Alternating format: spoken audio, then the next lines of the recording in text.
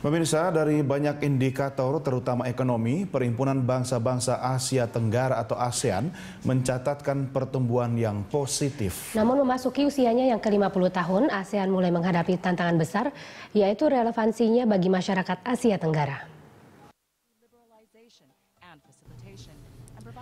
Dari catatan Sekretariat ASEAN, pertumbuhan ekonomi ASEAN rata-rata mencapai 5,2 persen sepanjang tahun 2007 hingga 2015.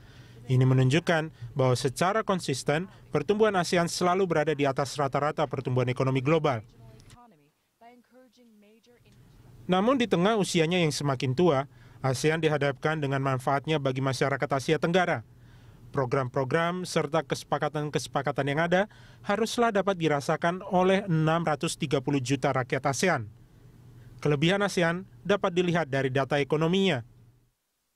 Data dari ASEAN Secretary menunjukkan kontribusi PDB negara-negara di dunia pada tahun 2015, ASEAN berada di peringkat ketujuh. ASEAN memberikan kontribusi sebesar 3,3 persen. PDB ASEAN itu lebih tinggi daripada Italia, India, dan Brazil. Sementara Amerika Serikat menjadi peringkat pertama yang memberikan kontribusi PDB dunia di level 24,5 persen. Tidak hanya itu, data dari World Economic Forum menunjukkan ASEAN adalah produsen crude palm oil dan karet terbesar di dunia. ASEAN menjadi negara kedua terbesar yang menerima aliran investasi asing. ASEAN juga menjadi negara ketiga terbesar sebagai pengguna ponsel pintar dan negara terbesar kelima pasar otomotif.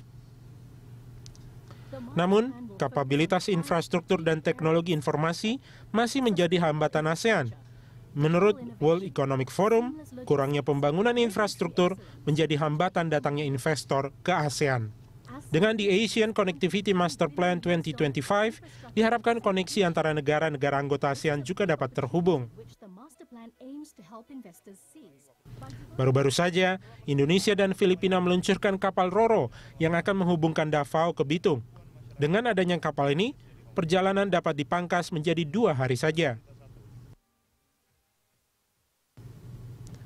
Mengingat usianya yang sudah mencapai setengah abad, penting bagi ASEAN untuk merefleksikan perjalanan mereka, apakah sedang mengalami krisis masa tua atau justru semakin matang sebagai sebuah organisasi.